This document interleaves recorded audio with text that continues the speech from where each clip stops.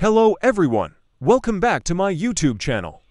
In this video, I will guide you how to make an audio amplifier circuit with integrated speaker protection circuit. In case of electrical problems, your expensive speakers will be safely protected. A switching power supply circuit using IC IR2153 with overload and short circuit protection function. With 350 watt capacity power combined with an audio amplifier circuit. We will have a compact but powerful audio amplifier. The circuit uses common components that you can easily buy at electronic stores. The advantages of switching power supplies over iron transformers are compactness, lightweight, and strength. The protection functions can be changed easily. I believe that you can easily implement this circuit with a high probability of success. I will talk detail about the operating principle, block diagram of the circuit for you to understand after some introductory information about my partner JLCPCB. This video is sponsored by JLCPCB. JLCPCB is the full-service electronic manufacturer JLCPCB's innovative one-stop service model makes production highly efficient by tightly integrating EDA software, PCB fabrication, parts purchase, stencil cutting, and SMT assembly.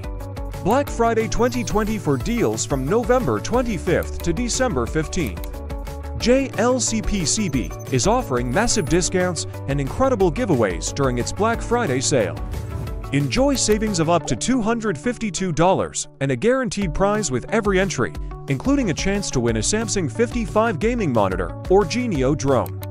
Now visit the link below description for exclusive deals and a chance to win amazing prizes. This is a result after one week. The box and circuit are from JLCPCB.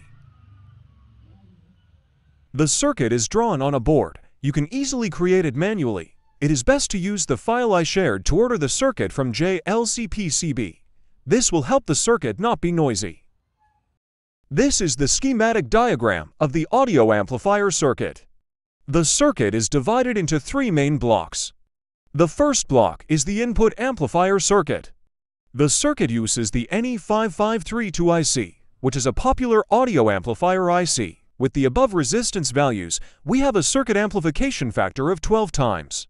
That is, the signal amplitude value after being amplified will be 12 times larger than the input signal amplitude value.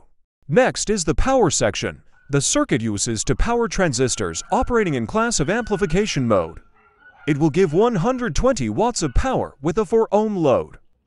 Final is the protection circuit and soft start. The circuit helps protect the speaker in case DC voltage enters the speaker. At that time, the relay will disconnect the speaker from the circuit and the speaker will be protected. This is the 350 watt switching power supply that I introduced to you. The circuit operates on the half-bridge principle, with the switching transformer removed from the computer power source and rewired. Now, we will assemble the components into the circuit. The circuit is divided into three areas for three blocks. Amplifier block, power block.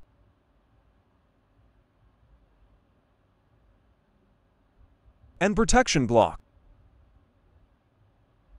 We will assemble in order, paying attention to assemble the components from low to high, inside to outside, and small to large. Some components we need to check to make sure it is working properly. This can be done with AVOM meter, or if you buy genuine components, this is not necessary.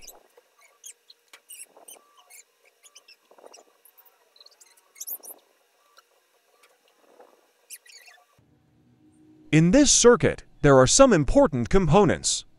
Among them are Zener diodes, which are used to create a reference voltage for the amplifier and protection blocks to operate. I have many types of Zener diodes, but they are stored together.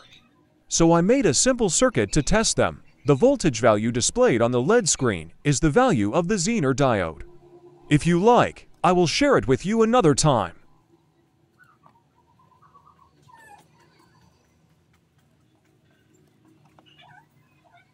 In this circuit, we will need 15 volt Zener diode. They supply power to the NE555 IC to work.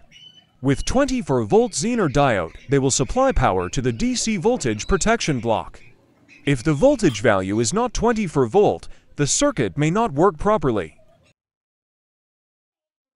In the schematic diagram, we used to power transistors 2SC5200 and 2SA1945. However, we can use other common transistors instead, such as B668 and D718, and the results are still the same.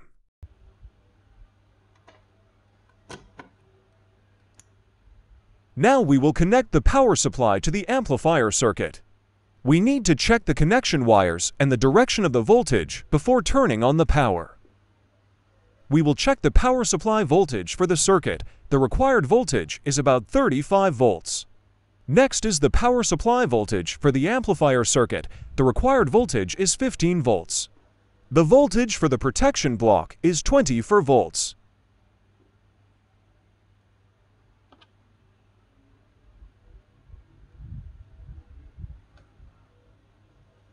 Make sure the voltage values of these blocks are correct as above. If not, check the Zener diodes. There may be a fault here, or they are broken. Replace them and measure again. The bias voltage values of the transistors are 0.24 volts. This value helps the transistors not to get hot when in standby mode. However, the sound will be slightly distorted when the volume is turned on very low. Everything will become normal when we turn the volume up. I have shown you how to make an audio amplifier with DC protection circuit attached. Good luck! Don't forget to like, share, subscribe my channel. I'll see you next time.